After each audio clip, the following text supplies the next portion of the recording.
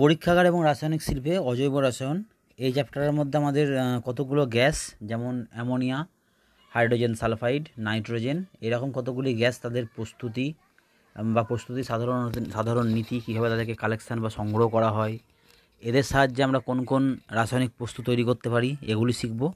এছাড়াও hydrogen chloride nitric acid sulphuric acid এদেরও এই একই জিনিস আমরা জানব, অর্থাৎ এরা কীভাবে তৈরি করা হয় রাসায়নিক বিক্রিয়া কী কী করে, এগুলো নিয়ে জানব। তা আমি এক একটা ভিডিওতে এক একটা পার্ট আলোচনা করব। প্রথমে আসছি অ্যামোনিয়াকে নিয়ে। অ্যামোনিয়া কি, কোথায় পাওয়া যায়?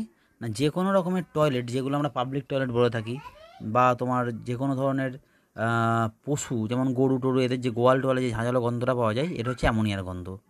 সাধারণত প্রাণীজ প্রাণীজ বা উদ্ভিজ্জ যে কোনো বর্জ্য পদার্থের মধ্যে নাইট্রোজেন থাকে। নাইট্রোজেন ঘটিত সেই ব্যাকটেরিয়ার বিয়োজনের মধ্যে অ্যামোনিয়া তৈরি হয়। বিজ্ঞানী প্রিস্টলে সতেরোশো চুয়াত্তর খ্রিস্টাব্দে অ্যামোনিয়ার সংকেত আবিষ্কার করেছিল। এটা আমাদের মনে না রাখলেও চলবে, শুধু নামটা মনে রাখলেই হবে। এখন অ্যামোনিয়া প্রস্তুতির নীতি যেটা দেওয়া আছে, এখানটা খুব ভালো করে পড়তে হবে যে যে কোনো রকমের অ্যামোনিয়াম লবণ, সেটা হতে পারে অ্যামোনিয়াম ক্লোরাইড, হতে পারে অ্যামোনিয়াম সালফেট, এদেরকে যে কোনো চুন, শুষ্ক চুন, শুষ্ক করিচুন বা কস্টিক সোডা, এদের সঙ্গে উত্তপ্ত করলেই অ্যামোনিয়া তৈরি হয়। তাহলে এখানে মনে রাখতে হবে কি? না অ্যামোনিয়াম ক্লোরাইড এর সঙ্গে অ্যামো কলিচুন বা কস্টিক সোডা এই অ্যামোনিয়াম ক্লোরাইড হচ্ছে একটা অ্যামোনিয়াম লবণ। অ্যামোনিয়াম, অ্যামোনিয়ামের যে কোনো লবণের সঙ্গে কোনো ক্ষার কলিচুন একটা ক্ষারীয় পদার্থ কস্টিক সোডা একটা ক্ষারীয় পদার্থ, এদেরকে উত্তপ্ত করলে অ্যামোনিয়া তৈরি হয়। তাহলে উত্তপ্তটা অবশ্যই করতে হবে। তৈরি হবে কি? না, অ্যামোনিয়া। কতগুলো বিক্রিয়া এখানে দেখানো আছে? যেমন প্রথমেটা দেখো, অ্যামোনিয়াম ক্লোরাইডের সঙ্গে ক্যালসিয়াম অক্সাইডের উত্তপ্ত করলে পরে অ্যামোনিয়া তৈরি হয়েছে। দু নম্বরেও দিয়েছে অ্যামোনিয়াম ক্লোরাইডের সঙ্গে। ক্যালসিয়াম হাইড্রোক্সাইডকে উত্তপ্ত করলে অ্যামোনিয়া তৈরি হয়েছে। তিন নম্বর দিয়েছে অ্যামোনিয়াম সালফেটের সঙ্গে সোডিয়াম হাইড্রোক্সাইডকে উত্তপ্ত করলে অ্যামোনিয়া তৈরি হয়েছে। তা আমাদের যে কোনো একটা বিক্রিয়া মনে রাখলেই চলবে। আমি মনে রাখার জন্য দু নম্বর বিক্রিয়াটাকে বলব মনে রাখা। এটা খুব সহজে মনে রাখতে পারা যায়। এই বিক্রিয়াটাকে বলব মনে রাখো। এখানে কি দেওয়া আছে দেখো? দুটো অ্যামোনিয়াম ক্লোরাইড, দু অণু, তার সঙ্গে ক্যালসিয়াম হাইড্রোক্সাইড এবার যতগুলো অ্যামোনিয়াম ক্লোরাইড নিয়েছি, অ্যামোনিয়াম ক্লোরাইড থেকে কিন্তু আমাদের অ্যামোনিয়া তৈরি হচ্ছে। তাহলে এই অ্যামোনিয়াটা তৈরি হচ্ছে কোথা থেকে? না, এই অ্যামোনিয়াম ক্লোরাইড থেকে। অ্যামোনিয়াম ক্লোরাইড থেকে তৈরি হচ্ছে অ্যামোনিয়া। তাহলে দুখানা অ্যামোনিয়াম ক্লোরাইড নিয়েছি, দুখানা অ্যামোনিয়া তৈরি হয়েছে। পড়ে থাকল দুখানা হাইড্রোজেন আর দুখানা ক্লোরিন। এবার এই যে ক্যালসিয়াম আছে, এই ক্যালসিয়াম এই ক্যালসিয়াম দুটো ক্লোরিনের সঙ্গে বিক্রিয়া করে তৈরি করল সিএসিএল টু আর এই অ্যামোনিয়াম ক্লোরাইড থেকে যে দুটো হাইড্রোজেন পড়েছিল, আর এখানে যে দুটো ওইচ আছে দুটো হাইড্রোজেন, দুটো ওইচের সঙ্গে বিক্রিয়া করে কী তৈরি করল? দুখানা জল তৈরি করল। তাহলে কি পেলাম? আমি মনে রাখব এই বিক্রিয়াটিকে যে অ্যামোনিয়াম ক্লোরাইডের সঙ্গে ক্যালসিয়াম হাইড্রোক্সাইডের বিক্রিয়া কি তৈরি হবে? দুটো অ্যামোনিয়া, ক্যালসিয়াম ক্লোরাইড এবং জল। এটা খুব ভালো করে মনে রাখতে হবে। এই একটা বিক্রিয়া মনে রাখলেই চলবে, বাকিগুলো না করলেও হবে। তাহলে এটা হচ্ছে অ্যামোনিয়া প্রস্তুতির সাধারণ নীতি। এবার আসি অ্যামোনিয়ার পরীক্ষাগার প্রস্তুতি। পরীক্ষাগার মানে ল্যাবরেটরির মধ্যে আমরা কীভাবে তৈরি করব। যে দুটো জিনিস এখানে নেওয়া হয়, সেটা হচ্ছে অ্যামোনিয়াম ক্লোরাইড এবং কলিচুন, অর্থাৎ ক্যালসিয়াম হাইড্রোক্সাইড। তাই এই যে অ্যামোনিয়াম ক্লোরাইড এবং কলিচুন নেওয়া হচ্ছে, আমি যে বিক্রিয়াটা উপরে দাগ দিয়েছিলাম, সেই একই বিক্রিয়া এখানেও দেওয়া আছে, ওই জন্য আমি দাগ দিয়েছিলাম ওটা। যেটা মনে রাখার জিনিস এদের রেশিওটা কত, অনুপাতটা কত, দেওয়া আছে এক ইস্টু তিন। অর্থাৎ অ্যামোনিয়াম ক্লোরাইডকে আমি যদি এক ভাগ নিই তার তিন গুণ পরিমাণ কলিচুন নেব। এটা যদি আমি এক ভাগ নিই, এটাকে এক ভাগ নিলে কলিচুন কতটা নেব? তিন ভাগ। তা একটাকে আমি এক ভাগ নিচ্ছি, একটাকে তিন ভাগ নিচ্ছি। কেন? এর কারণটা কি? কারণটা হলো এই যে অ্যামোনিয়াম ক্লোরাইড, এই অ্যামোনিয়াম ক্লোরাইড একটা উদ্বায়ী পদার্থ। এটা একটা উদ্বায়ী পদার্থ। উদ্বায়ী পদার্থ কাকে বলা হয়? যে পদার্থকে উত্তপ্ত করলে তারা ভেপারাইজ অর্থাৎ বাষ্পীভূত হয়ে যায় তাকে উদ্বায়ী পদার্থ বলা হয়। অ্যামোনিয়াম ক্লোরাইডকে গরম করলে এর ঊর্ধ্বপাতন হয়, ফলে অ্যামোনিয়াম ক্লোরাইড কঠিন পদার্থ থেকে ডাইরেক্ট গ্যাসীয় অবস্থায় চলে যায়। তার আমি যখন এই কন্টেনারটার মধ্যে অ্যামোনিয়াম ক্লোরাইডকে নিয়েছি এবং এ গরম করছি, অ্যামোনিয়াম ক্লোরাইড কী হবে? বাষ্পীভূত হয়ে যাবে। তাহলে ম্যাক্সিমাম অ্যামোনিয়াম ক্লোরাইডটা বাষ্পীভূত হয়ে বেরিয়ে চলে যাবে। কলিচুনকে বেশি পরিমাণে নেওয়া হয় যাতে করে বাষ্পীভবন হওয়া সত্ত্বেও পুরো অ্যামোনিয়াম ক্লোরাইডটা বিক্রিয়ায় অংশগ্রহণ করতে পারে। তাহলে বিক্রিয়ার প্রয়োজনীয় রাসায়নিক দ্রব্য কী গেল? অ্যামোনিয়াম ক্লোরাইড এবং কলিচুন। নীতি এবং সমীকরণের মধ্যে কি আসছে না? অ্যামোনিয়াম ক্লোরাইড এবং শুষ্ক কলিচুনের মিশ্রণকে এক ইস্টু তিন অনুপাতে নিয়ে উত্তপ্ত করলে অ্যামোনিয়া তৈরি করা হয়। বিক্রিয়াটা আমি একটু আগে বললাম, মুখস্থ করতে হবে। বিক্রিয়ার শর্ত হিসেবে কী দেওয়া আছে না? তাপ প্রয়োগে বিক্রিয়া ঘটে, অর্থাৎ তাপ না দিলে বিক্রিয়াটি হয় না। এখানে তোমরা তাপের চিহ্ন একটা দিয়ে দিতে পারো বোঝানোর জন্য। এটা হচ্ছে বিক্রিয়ার ক্রাইটেরিয়া। এবার আসছি বিক্রিয়াটার পদ্ধতিতে মানে কীভাবে বা কি উপায়ে বিক্রিয়াটা করা হয় ল্যাবের মধ্যে, পদ্ধতিটা কি আছে?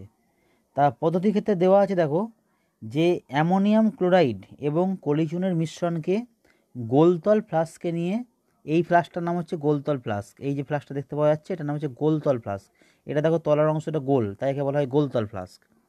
ফ্লাস্কে নিয়ে বুনসেন বার্নারের সাহায্যে উত্তপ্ত করা হয়। এই ধরনের বান্থান বার্নারকে বলা হয় বুনসেন বার্নার। এর সাহায্যে এটাকে উত্তপ্ত করা হয়। তাহলে গোলতল ফ্লাস্কের মধ্যে কী নেওয়া হয়েছে? এই জায়গাটাতে অ্যামোনিয়াম ক্লোরাইড এবং ক্যালসিয়াম হাইড্রোক্সাইডের মিশ্রণটাকে নিয়ে বুনসেন বার্নারের সাহায্যে উত্তপ্ত করা হচ্ছে। তাহলে ঠিক যে বিক্রিয়াটা আমি একটু আগে দেখালাম, ওই বিক্রিয়া অনুযায়ী এই অ্যামোনিয়াম ক্লোরাইড এবং ক্যালসিয়াম হাইড্রোক্সাইড বিক্রিয়া করে কী তৈরি করবে? অ্যামোনিয়া তৈরি করবে ক্যালসিয়াম ক্লোরাইড তৈরি করবে। এই যে দেওয়া আছে এখানে অ্যামোনিয়া, ক্যালসিয়াম ক্লোরাইড এবং ওয়াটার। বা জল। এখন এই অ্যামোনিয়া, ক্যালসিয়াম ক্লোরাইড এবং জলের মধ্যে ক্যালসিয়াম ক্লোরাইড, এটা কঠিন পদার্থ, এর তলাতেই পড়ে থাকবে। এটা এখান থেকে যাবে না, এটা অর্থাৎ এই বিক্রিয়ার কন্টেনারের মধ্যেই থাকবে, কোথাও যাবে না। এবার এই যে অ্যামোনিয়া তৈরি হলো আর এই যে জল হলো, এই দুটো বাষ্পীভূত অবস্থায় আমাদের এই কন্টেনার থেকে এই পাইপটা দিয়ে বেরিয়ে আসবে। এই পাইপটা দিয়ে বেরিয়ে এখানে আসবে। বোঝা গেল? তাহলে কি হলো? বিক্রিয়াটা হওয়ার ফলে তৈরি হলো অ্যামোনিয়া ক্যালসিয়াম ক্লোরাইড এবং জল। যার মধ্যে থেকে অ্যামোনিয়া এবং জল বাষ্পীভূত অবস্থায় এই ফ্লাস্ক থেকে এই পাইপটার সাহায্যে বেরিয়ে আসবে আর ক্যালসিয়াম ক্লোরাইড ভিতরেই আটকে থাকবে। এবার যখন এটা বেরিয়ে এলো, আমাদের চাই, আমরা কিন্তু তৈরি করছি অ্যামোনিয়া, তাই জলটা আমাদের প্রয়োজন নেই এখানে, জলটার কোনো প্রয়োজন নেই, জলটাকে আমাদের সরাতে হবে। তা কী করব? এই মিক্সচারটা প্রথমে এই চেম্বারটার মধ্যে এলো। এবার এখানে লেখা আছে, দেখো, যে উৎপন্ন গ্যাস চুন স্তম্ভ অতিক্রম করার সময় ওর সঙ্গে মিশ্রিত জলীয় বাষ্প, চুন দ্বারা শোষিত হয়। তাহলে আমি এখানে যে গ্যাসটা এই পাইপের মধ্যে দিয়ে আসছে, সেটা কিন্তু শুকনো গ্যাস নয়, তার মধ্যে জল মিশে আছে।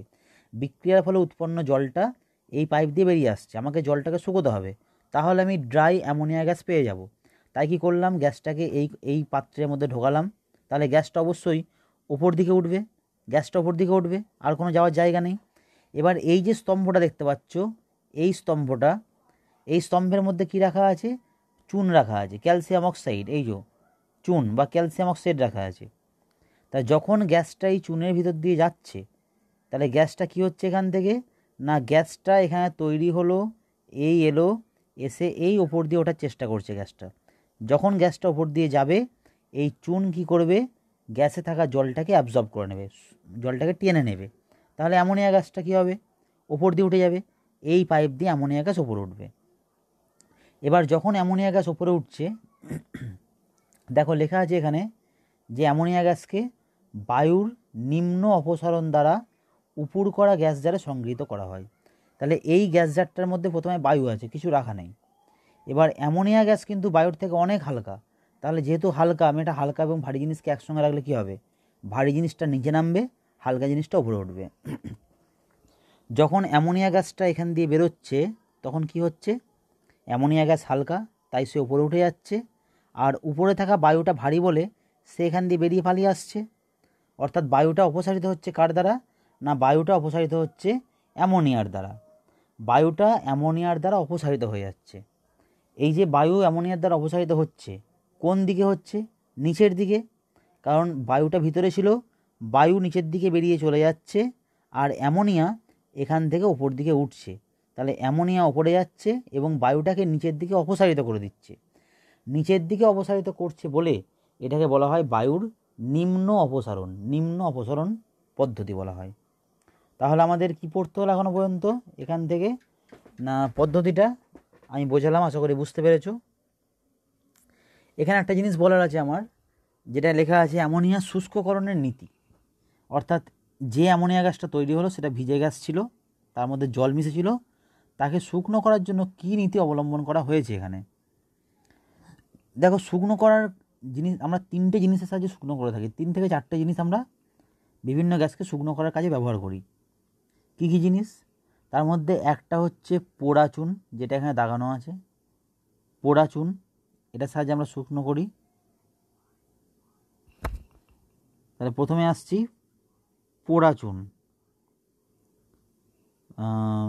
লালেই দেখি আমি। পোড়া চুনের সাহায্যে শুকনো করা হয়। গাঢ় সালফিউরিক অ্যাসিডের সাহায্যে শুকনো করা হয়। ফাইভ অর্থাৎ ফসফরাস পেন্টাক্সাইড এবং অনাদ্র ক্যালসিয়াম ক্লোরাইড। এই চারটে জিনিস আমরা কোনো ভিজে গ্যাসকে শুকনো করার কাজে ব্যবহার করি। মনে রাখতে হবে যে চারটে জিনিসই যে যে কোনো গ্যাসের ক্ষেত্রে ব্যবহার করা যাবে তা কিন্তু নয়। এক একটা গ্যাসের ধর্ম অনুযায়ী আমরা এক একটা জিনিসকে ব্যবহার করে থাকি। এবার এই যে অ্যামোনিয়া গ্যাসের কথা বলছি আমরা, এই অ্যামোনিয়া গ্যাস কী ধর্মী না ক্ষারীয় পদার্থ? এটা ক্ষারধর্মী তাই পোড়াচুনও ক্ষারধর্মী তো যখন আমি অ্যামোনিয়া গ্যাসকে পোড়াচুনের সঙ্গে শুকনো করার চেষ্টা করছি, কি হচ্ছে না, এখানে কোনো সমস্যা হচ্ছে না। অ্যামোনিয়া গ্যাসকে পোড়া চুনের সাহায্যে শুকনো করতে গেলে কোনো প্রবলেম হচ্ছে না। এটা শুকনো করা যাচ্ছে। কেন যাচ্ছে? কারণ দুজনেই ক্ষারীয় পদার্থ, তাই যাচ্ছে। যদি দুজনে ক্ষারীয় পদার্থ না হতো, তাহলে শুকনো করা কিন্তু যেত না। যে সমস্যাটা দেখা দেয় এই তিনটের ক্ষেত্রে, অর্থাৎ সালফিউরিক অ্যাসিডের ক্ষেত্রে, ফসফরাস পেন্টক্সাইডের ক্ষেত্রে এবং অনাদ্র ক্যালসিয়াম ক্লোরাইডের ক্ষেত্রে। এরা তিনজন কিন্তু ক্ষারীয় পদার্থ নয়, তাই এদের সঙ্গে সমস্যাটা দেখা দেয়। কীরকম সমস্যা দেখা দেয়? প্রথমে দিয়েছে গাঢ় সালফিউরিক অ্যাসিডের সঙ্গে বিক্রিয়া করলে তৈরি করে অ্যামোনিয়াম সালফেট। বিক্রিয়াটা এখানে দেওয়া আছে, দেখো, যে ammonia gas H two S O ফোরের সঙ্গে বিক্রিয়া করে তৈরি করছে N H four whole two S O four তৈরি করছে এটা N H four whole two S O four তাহলে এটা গেল একটা। অর্থাৎ আমি আবারও বললাম যে গাঢ় সালফিউরিক অ্যাসিড ব্যবহার করা যায় না কেন, কারণ গাঢ় সালফিউরিক অ্যাসিড বিক্রিয়া করে। কি তৈরি করে? Ammonium sulphate. এই হলো সেই বিক্রিয়া। তাই এটাকে ব্যবহার করা যায় না। আসি phosphorus pentoxide P two five লেখা আছে আম্লিক অক্সাইড। এ কী করে? অ্যামোনিয়াম ফসফেট তৈরি করে। এখানে বিক্রিয়া দেওয়া আছে, বিক্রিয়া পড়ার দরকার নেই। লাস্টে আসছি ক্যালসিয়াম ক্লোরাইড একটা জুতো যৌগ তৈরি করে। জুতো যৌগ মানে এই যে ডট দেওয়া আছে, এগুলোকে জুতো যৌগ বলা হয়। তাই একেও কিন্তু ব্যবহার করা হয় না। তোমাদের এতগুলো বিক্রিয়া মনে রাখার কোনো প্রয়োজন নেই। সিম্পলি কোশ্চেন হিসেবে এটা আসতে পারে যে অ্যামোনিয়াকে শুকনো করার জন্য পোড়াচুন ব্যবহার করা হয়। এই তিনটে জিনিস ব্যবহার করা হয় না কেন? এর কারণ কি? উত্তরটা খুব সিম্পলি দেবে যে অ্যামোনিয়া একটা ক্ষারীয় পদার্থ পোড়াচুনও ক্ষারীয় পদার্থ। উভয়েই ক্ষারীয় পদার্থ হওয়ায় এদেরকে ব্যবহার করা যে লাইনটা বইয়েতেও লেখা আছে, দেখো তোমরা, আমি দেখিয়ে দিচ্ছি। উভয়েই ক্ষারীয় পদার্থ হওয়ায় এরা পরস্পরের সঙ্গে কোনো বিক্রিয়া করে না। এই, এটাই হচ্ছে শেষ লাইন। যে অ্যামোনিয়া ক্ষারীয় পদার্থ, পোড়াচুন এও ক্ষারীয় পদার্থ, দুজনে ক্ষারীয় পদার্থ হওয়ার জন্য এদের মধ্যে কোনো বিক্রিয়া হয় না। কিন্তু বাকি যে জিনিসগুলো আছে, তাদেরকে নিলে কী হতো? না, তাদের সঙ্গে বিক্রিয়া হয়ে অন্য পদার্থ তৈরি হতো। ফলে আমরা অ্যামোনিয়া গ্যাসকে পেতাম না। তাহলে যে জিনিসটাকে শুকনো করতে গেছি, শুকনো করা মানে জলটাকে তাড়ানো। জলটাকে তাড়াতে গিয়ে যদি জিনিসটাই বিক্রিয়া করে ফেলে, তাহলে তো শুকনো করা যাবে না। এই কারণে অ্যামোনিয়াকে শুকনো করতে গিয়ে আমরা পোড়াচুন বাদ দিয়ে অন্য কোনো কিছু ব্যবহার করতে পারি না। বিক্রিয়াগুলো মনে রাখার দরকার নেই।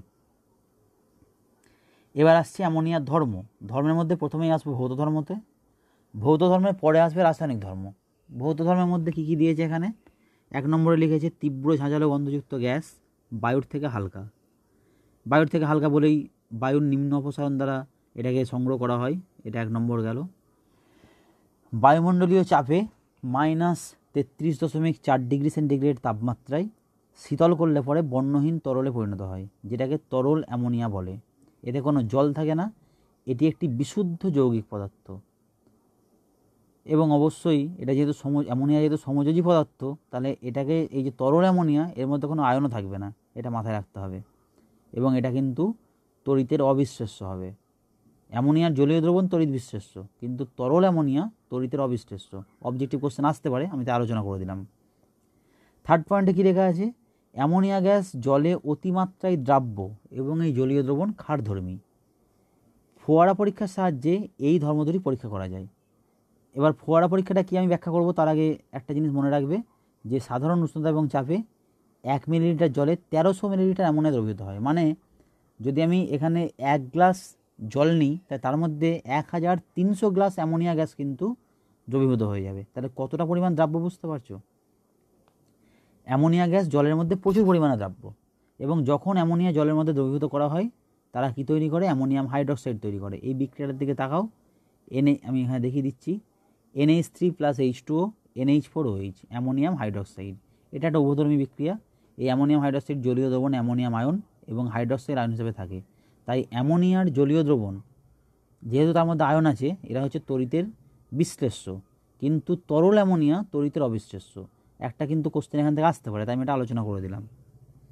এবার আসছি ফোয়ারা পরীক্ষা। প্রথমেই বলব যে ফোয়ারা পরীক্ষাটা কি এবং কেন? ফোয়ারা পরীক্ষা কেন করব এবং এটার করার কারণটা কি? মনে রাখবে, ফোয়ারা পরীক্ষার সাহায্যে আমরা দুটো ধর্ম ব্যাখ্যা করতে পারি। কি কি? এক নম্বর, ফোয়ারা পরীক্ষার সাহায্যে আমরা এক নম্বর ধর্ম কি ব্যাখ্যা করতে পারি? না, এর দ্রা, অ্যামোনিয়ার দ্রাব্যতা। অ্যামোনিয়া গ্যাসের দ্রাব্যতা। এর দ্রাব্যতার জন্য ফোয়ারা পরীক্ষা করা হয়। এটা হচ্ছে দ্রাব্যতা। আর দু নম্বর কি? দু নম্বর হচ্ছে ক্ষার ধর্ম। এটা যে একটা ক্ষারীয় গ্যাস, সেই এর ক্ষার ধর্ম। এই দুটো ধর্মের পরীক্ষা কিন্তু আমরা তোমার ফোয়ারা পরীক্ষার সাহায্যে করে থাকি। তাহলে ফোয়ারা পরীক্ষার সাহায্যে কী পরীক্ষা করা হয়? দুটো ধর্ম পরীক্ষা করা হয়। এক নম্বর হলো এর দ্রাব্যতা পরীক্ষা করা হয়। দু নম্বর হচ্ছে ক্ষার ধর্ম পরীক্ষা করা হয়। এবার আসি পরীক্ষাটা কীভাবে করা হয়। আমি প্রথমে সেট আপটা ব্যাখ্যা করি। আচ্ছা বইটা রিডিং পড়ে তোমায় বোঝাচ্ছি আগে। লেখা আছে, এই পরীক্ষায় ব্যবহৃত বিকারটি লাল লিডমাস দ্রবণ এবং উপরের গোলতল ফ্লাস্কটি শুষ্ক অ্যামোনিয়া গ্যাস দ্বারা পূর্ণ করা থাকে। উপরের ফ্লাস্কের বহিঃস্পৃষ্টকে বরফ শীতল জল দিয়ে ঠান্ডা করলে অ্যামোনিয়া গ্যাস সংকুচিত হয় এবং গ্যাসের চাপ কমে যায়। এই অবস্থায় নলের স্টপককটি খুলে দিলে বায়ুমণ্ডলীয় চাপের প্রভাবে নিচের বিকারের লাল নীলমাস নল বেয়ে ওপরে প্রবেশ করে এবং দ্রবীভূত হয়ে যায়। ব্যাপারটা বুঝিয়ে দিই প্রথমে আমি। কীভাবে এরা বলতে চাইছে জিনিসটাকে? এটা দুভাবে করা যেতে পারে। পরীক্ষাটা দুভাবে করা যেতে পারে। একটা যেমন বইয়ের মধ্যে বলে দিয়েছে যে, ওপরটাকে সংকুচিত করে গ্যাসের চাপটা কমিয়ে রাখা হলো। মানে জিনিসটা আমি এরকম করতে চাইলাম যে, ধরো একটা এই বিকারটা, এই যে বিকারটা দেখতে পাওয়া যাচ্ছে নিচের দিকে এই বিকারটা নেওয়া হলো। এর মধ্যে লাল লিডমাসের দ্রবণ রাখা হলো। এবার একটা খুব সরু পাইপ এই পাইপগুলোকে নিয়ে ক্যাপিলারি পাইপ বলা হয় এগুলোকে সাধারণত। এই ক্যাপিলারি পাইপের মধ্যে দিয়ে এদের ধর্ম হচ্ছে কোনো তরলের মধ্যে ডুবিয়ে রাখলে পরে তরলটা অটোমেটিক সেই পাইপ বেয়ে ওপরে উঠে আসবে। তাহলে ক্যাপিলারি পাইপের মধ্যে কিন্তু লাল লিটমাস আছে দেখতে পাচ্ছ। এবার এই যে বিকারটা দেখা যাচ্ছে, গোলতল বিকারটা, গোলতল ফ্লাস্কটা সরি বিকার না ফ্লাস্ক এই যে গোলতল ফ্লাস্কটা দেখা যাচ্ছে এই গোলতল ফ্লাস্কটার মধ্যে কী নেওয়া আছে? অ্যামোনিয়া গ্যাসকে নেওয়া আছে। সাধারণ অবস্থায় নিয়েছি। নিয়ে এটাকে বাইরে ঠান্ডা করলাম। তা ঠান্ডা করলে কী হবে? গ্যাসটা সংকুচিত হয়ে যাবে। গ্যাস যদি সংকুচিত হয়ে যায়, তাহলে ফ্লাস্কের ভিতরের অংশটা, এই ভিতরের অংশটা, এখানে গ্যাসের তাপমাত্রাটা, গ্যাসের চাপটা কমে যাবে বাইরের থেকে। তাহলে কি হলো? না, একটা গোলতল ফ্লাস্ক নিয়েছি, যে ফ্লাস্কের চাপটা কিন্তু অনেক কম, ভিতরের চাপটা কম আর বাইরের চাপটা বেশি। এবং এইখানে একটা স্টপ ককের সাহায্যে এটাকে আটকানো আছে। তাহলে এই অবস্থায় ঘটনাটা কেমন হচ্ছে? না, বাইরের চাপটা, বাইরের বায়ুমণ্ডলীয় চাপটা বেশি আর ভিতরের চাপটা কম। ভিতরের চাপটা কম কেন? কারণ এটাকে ঠান্ডা করে চাপটা কমিয়ে দেওয়া হয়েছে। তাই এটা কম। এই অবস্থায় আমরা করলাম কি? স্টপ ককটাকে খুলে দিলাম। যদি স্টপ ককটাকে খুলে দেওয়া হয়, তাহলে কি হবে? না, বায়ুমণ্ডলীয় চাপের জন্য এই চাপ, তরলকে চাপ দেবে বায়ুমণ্ডলীয় তার ওয়ান এটিএম চাপ যেটা বলা হয়ে থাকে, এই তরলের মধ্যে পড়বে।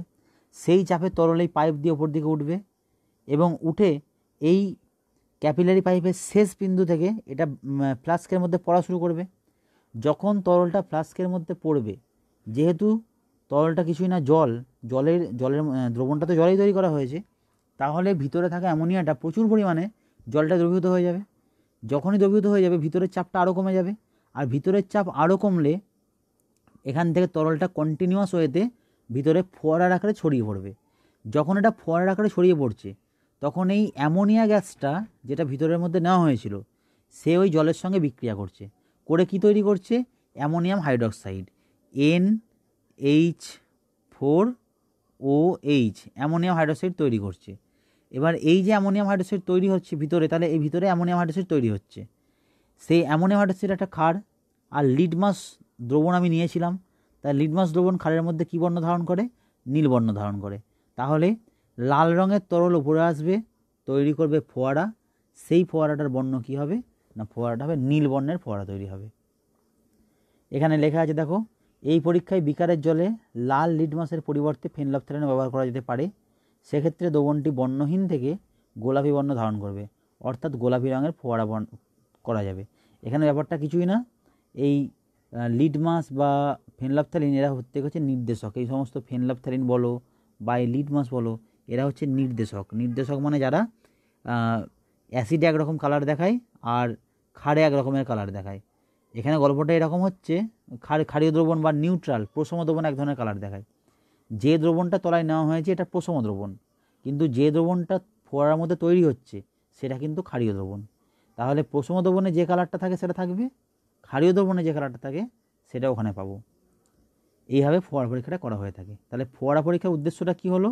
না ফোয়ারা পরীক্ষা দুটো কারণে করা হয়ে থাকে? কী কী কারণ? এক হলো, কোথাও একটা দেওয়া ছিল, আমি দেখলাম একটু আগে। তাহলে বোঝা গেল এটা।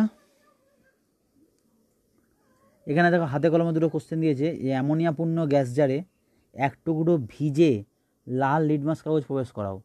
পর্যবেক্ষণ থেকে অ্যামোনিয়ার প্রকৃতি ব্যাখ্যা করো, কী হবে বলো তো উত্তরটা? দেখো, গ্যাস জারটা অ্যামোনিয়া পূর্ণ আছে অ্যামোনিয়া গ্যাস পূর্ণ। আমি ভিজে লাল লিডমাস নিয়েছি। তাহলে এই যে ভিজে রেখেছি, জল আছে এর মধ্যে, এখানে অ্যামোনিয়া গ্যাসটা দ্রবীভূত হলো, তৈরি করল কি? ক্ষার ক্ষারের মধ্যে লাল লিডমাস কী হবে? নীল হয়ে যাবে। যদি পরীক্ষার কোশ্চেনে এই ভিজে কথাটা না দেওয়া থাকে, শুধু লেখা থাকে অ্যামোনিয়াপূর্ণ গ্যাস জারে এক টুকরো লাল লিটমাস কাগজ প্রবেশ করাও, তখন পর্যবেক্ষণটা কী হবে? না, কোনো পরিবর্তন হবে না। কারণ লিটমাস পেপারটাকে ভিজে না নিলে পরে অ্যামোনিয়া কিন্তু ক্ষার ধর্ম দেখাতে পারবে না। এটা একটা পরীক্ষা গেল দু নম্বরে লেখা আছে, ঘন এইচ সিএল সিক্ত কাঁচদণ্ডকে অ্যামোনিয়াপূর্ণ গ্যাস বাজারের মুখে ধরলে কী হবে? এই অ্যামোনিয়ার সঙ্গে এইচ সিএলের বিক্রিয়া হবে, কী তৈরি করবে? অ্যামোনিয়াম ক্লোরাইড, তার বর্ণ কী? সাদা ধোয়া। আমরা অ্যামোনিয়ার রাসায়নিক ধর্মে আসছি, এখানে এটা প্রথমেই দেওয়া আছে, দেখো।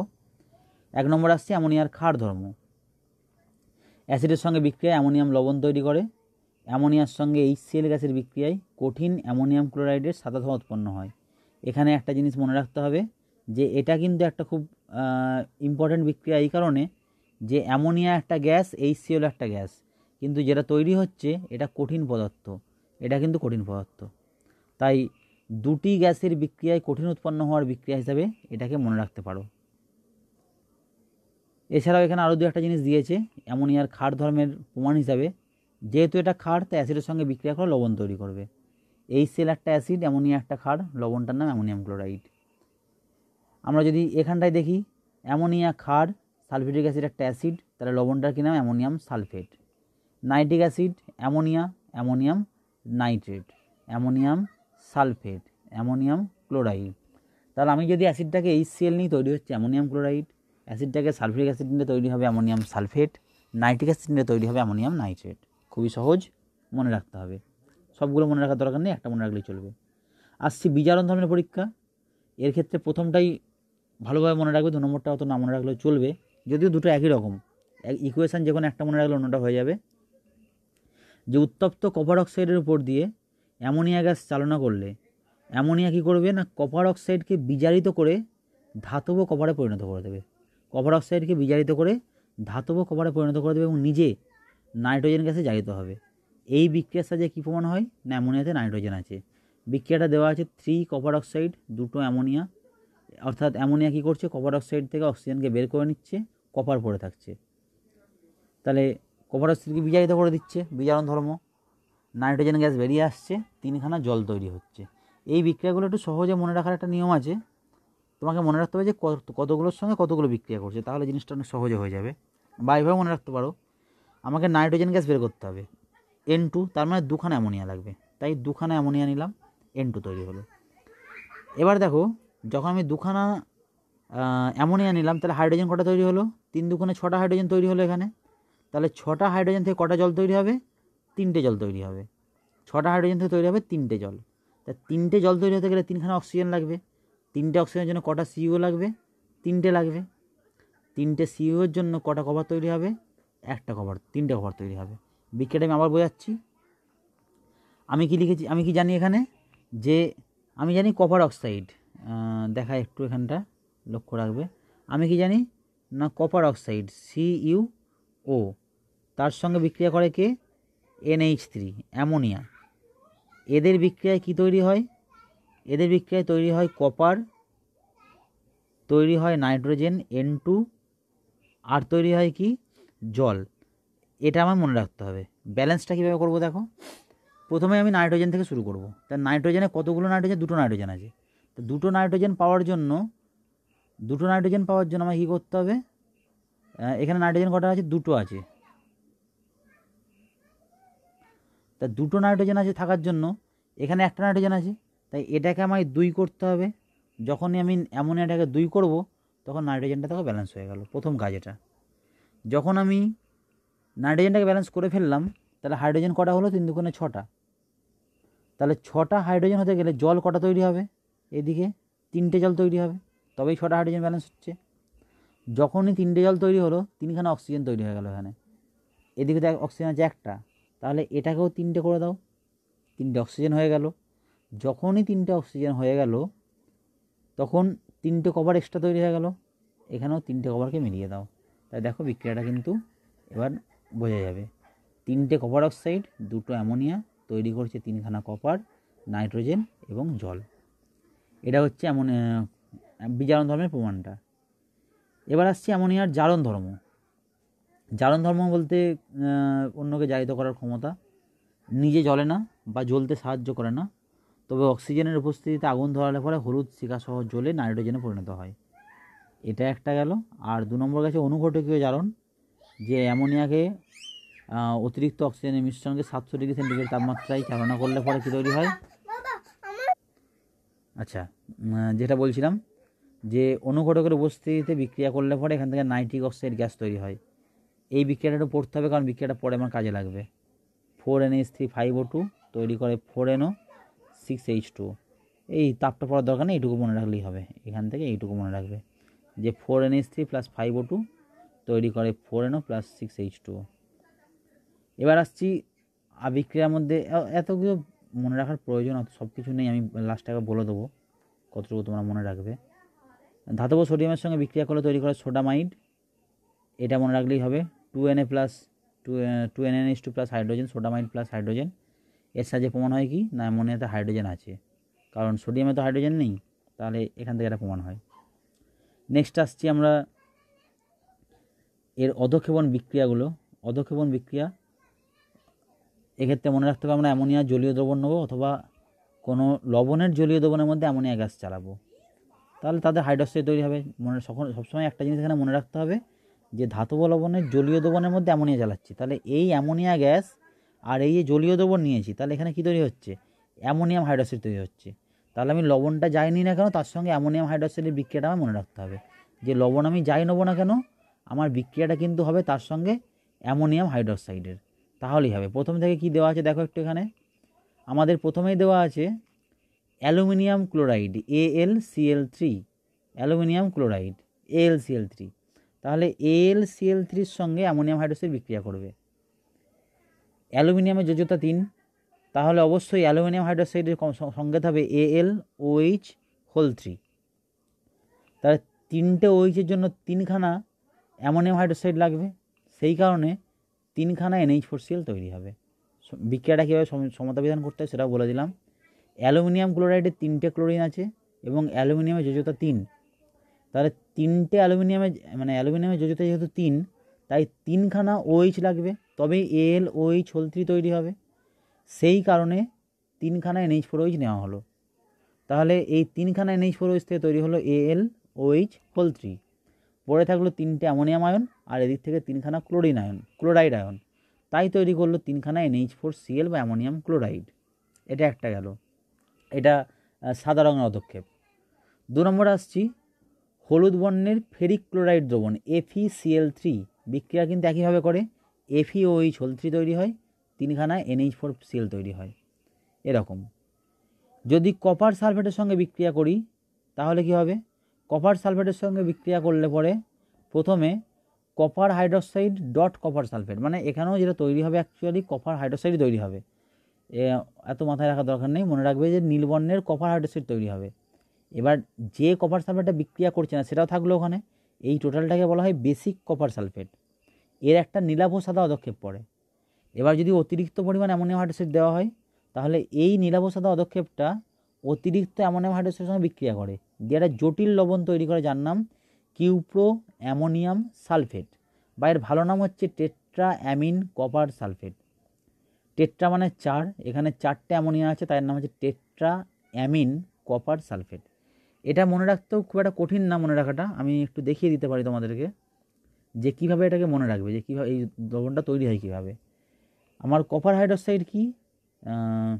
C U O H whole two copper hydroxide হচ্ছে C U O H whole two এর সঙ্গে বিক্রিয়া করছে কে? না, এর সঙ্গে হচ্ছে ammonium hydroxide N H four O H এখন আমি দুটো কথা বলব।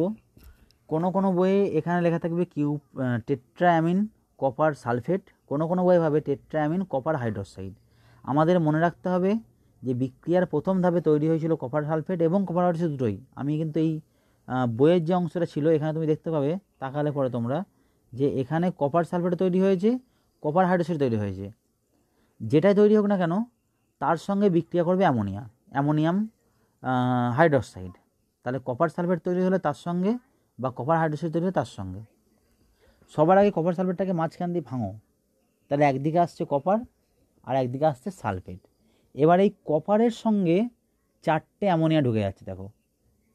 সালফেটটা বাইরে পড়ে থাকছে। তৈরি হয়ে যাচ্ছে টেট্রাঅ্যামিন কপার সালফেট। আর যদি আমি টেট্রাঅ্যামিন কপার হাইড্রোক্সাইড লিখি, তখনও কিন্তু একই রকমভাবে তৈরি হবে। কপার থাকল যেমন পড়েছিল। আর হাইড্রোক্সাইডের ওএইচ হোল টুটা এই বাইরেই পড়ে থাকল। মাঝখানে ভাগ ভাগ করে দিয়েছি এরকম করে, পড়ে থাকল। তাহলে এই অংশটাই কী চলে এলো তখন? ওই এনএইচ থ্রি হোল ফোর তাহলে এখানে চলে এলো এনএইচ থ্রি হোল ফোর তাহলে এটার নাম হয়ে গেছে টেট্রাঅ্যামিন কপার হাইড্রোক্সাইড, বা সহজে বলতে গেলে কিউপ্রো অ্যামোনিয়াম হাইড্রোক্সাইড। দুটো জিনিসই তৈরি হতে পারে। এর ক্ষেত্রে যেটা মনে রাখার, সেটা হচ্ছে এর কালারটা। গাঢ় নীলবর্ণের দ্রবণ, এটা কিন্তু আর অধক্ষেপ থাকছে না। অধক্ষেপটা আগের লাইনে ছিল। বোঝা গেল? আমি একটু বলে দিই। এই কোশ্চেনটা দেখো, বুঝতে পারবে। টেস্ট টিউবে পাঁচ এম কপার সালফেট দ্রবণ নিয়ে এর বর্ণ লক্ষ্য করো। কী বর্ণ হবে? কপার সালফেটের বর্ণ হচ্ছে নীলবর্ণ নীলবর্ণের দ্রবণ। এরপর ধীরে ধীরে সামান্য অ্যামোনিয়াম হাইড্রোক্সাইড দ্রবণ যোগ করো। কোনো পরিবর্তন দেখা গেল? হ্যাঁ পরিবর্তন দেখা যাবে। কি পরিবর্তন? না, যখন নীলবর্ণের কপার সালফেট দ্রবণের মধ্যে আমরা ধীরে ধীরে অ্যামোনিয়াম হাইড্রোক্সাইড যোগ করব, তখন নীলাভ সাদা একটা অদক্ষেপ পড়বে। তার দ্রবণটা ধীরে ধীরে নীলাভ সাদা হয়ে গেল। কালারটা কিন্তু নীলাভ সাদা। এবার অতিরিক্ত এনএইচ ফোর ওই যোগ করলে কী কী ঘটছে? না, নীলাভ সাদা অদক্ষেপটা দ্রবীভূত হয়ে গিয়ে দ্রবণটা গাঢ় নীলবর্ণ ধারণ করছে। বোঝা গেল? এটা হচ্ছে কপার সালফেটের সঙ্গে বিক্রিয়া। আসছি নেসলার বিকারকের সঙ্গে বিক্রিয়া। নেসলার বিকারকটা কী জিনিস সেটা মনে রাখতে হবে? আর বিক্রিয়া কী তৈরি করে সেটা মনে রাখতে হবে। নেসলার বিকারক হচ্ছে ক্ষারীয় পটাশিয়াম, মার্কিউরিক আয়োডাইডের দ্রবণ। না, মনে রাখলেও চলবে। এর সঙ্গে অ্যামোনিয়া গ্যাসের সংস্পর্শে এলে বাদামি বর্ণ ধারণ করে। আর কিছু করতে হবে না। লাইকার অ্যামোনিয়া বোতল খোলার আগে ঠান্ডা করা উচিত কেন? লাইকার অ্যামোনিয়া কী জিনিস? What is liquor ammonia?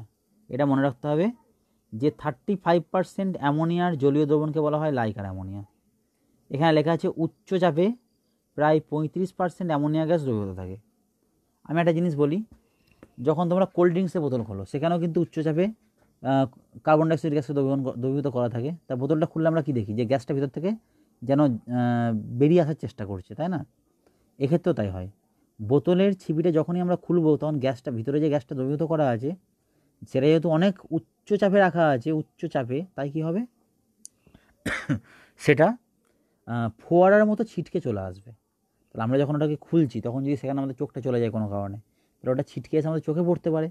আর চোখে পড়লে পরে কিন্তু চোখের দৃষ্টিশক্তি নষ্ট হয়ে যাবে। তাই কি করা হয়? আগে বোতলটাকে ঠান্ডা করে নেওয়া হয়।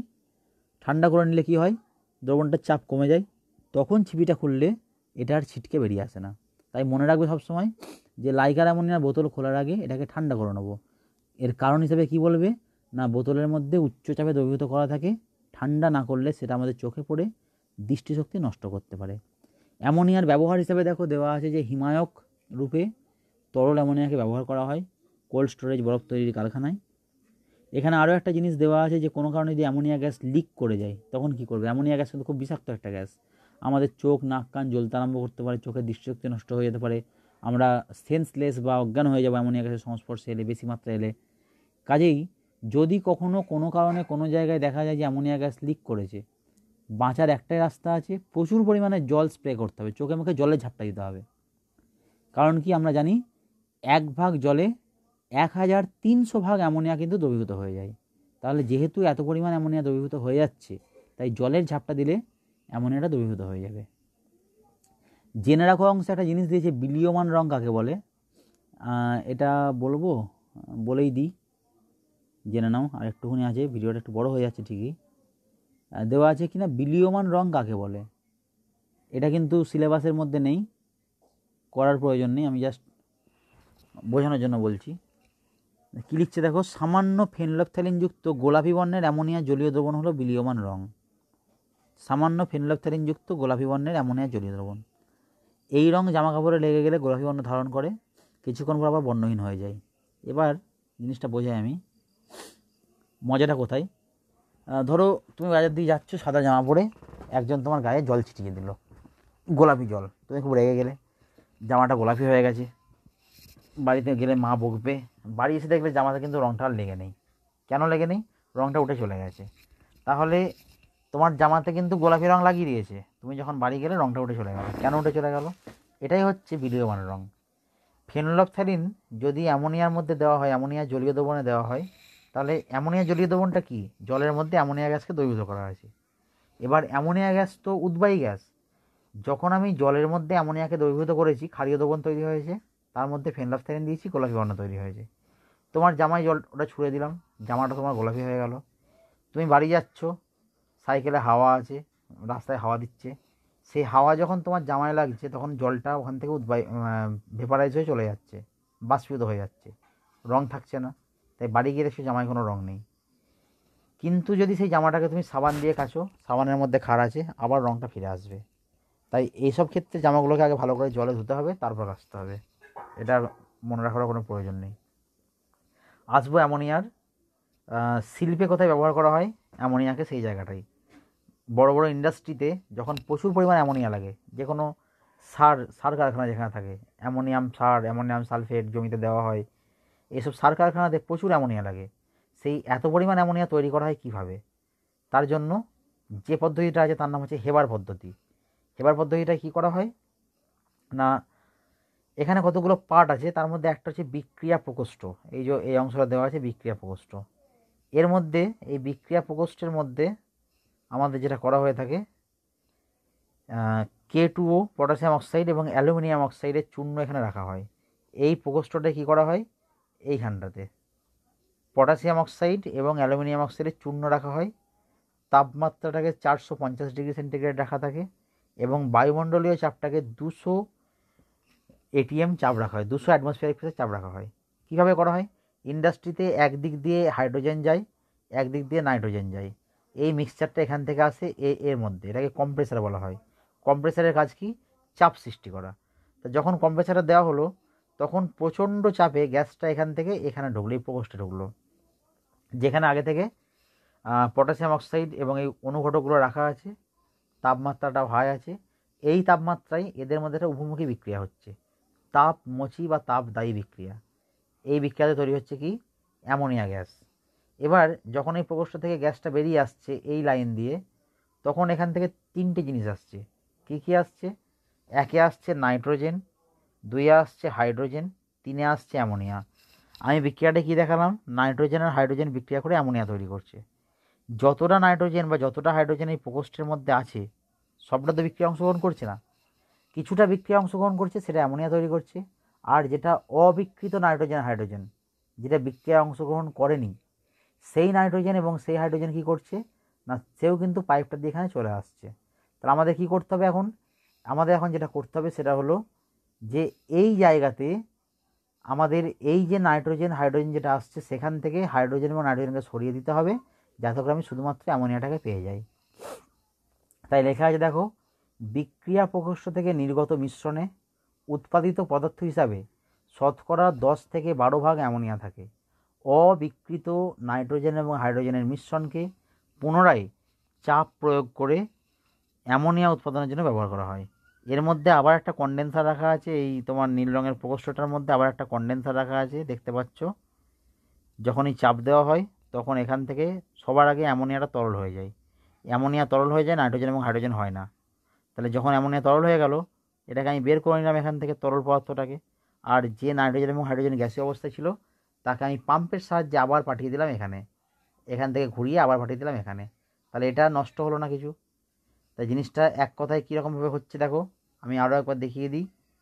আমার হাইড্রোজেন এবং নাইট্রোজেনের মিক্সচার প্রকোষ্ঠের মধ্যে যাচ্ছে, বিক্রিয়া হচ্ছে, তিনটে গ্যাসের মিক্সচার এই পাইপ দিয়ে এখানে আসছে। এখানে তরল আকারে অ্যামোনিয়াটাকে বের করে নেওয়া হচ্ছে, বাকি গ্যাস দুটো আবার কিন্তু এই সাইকেলের মধ্যে এসে যোগদান করছে। তাহলে চক্রাকার পদ্ধতিতে কোনো পরিমাণ নাইট্রোজেন এবং হাইড্রোজেন গ্যাসকে নষ্ট না করে এখানে অ্যামোনিয়া তৈরি করা হয় প্রচুর পরিমাণে। তরল অ্যামোনিয়া চলে আসে। অ্যামোনিয়াকে ব্যবহার করা হয় কোথায়? শিল্পক্ষেত্রে ব্যবহার, এগুলো একটু পড়তে হবে। যে অ্যামোনিয়াম সালফেট, অ্যামোনিয়াম নাইট্রেট, এগুলো তো তৈরি করতে ব্যবহার করা হয়। কৃত্রিম সিল্ক ইত্যাদি ইত্যাদি। শিল্প উৎপাদন, উচ্চ চাপ এবং উচ্চ তাপমাত্রায় তরল অ্যামোনিয়া এবং কার্বন ডাইঅক্সাইডের বিক্রিয়াতে ইউরিয়া তৈরি করা হয়। এই বিক্রিয়াটার প্রথম ধাপে অ্যামোনিয়াম কার্বনেট তৈরি হয়, পরের ধাপে ইউরিয়া তৈরি হয়। আর ব্যবহার কোথায়? যে নাইট্রোজেন ঘটিত সার রূপে এবং ইউরিয়া স্টিবামিন বা ঘুমের ওষুধ বার বিউটিরেট নামক যৌগ প্রস্তুতিতে নাইট্রোসেলুলোজ ইত্যাদি তৈরিতে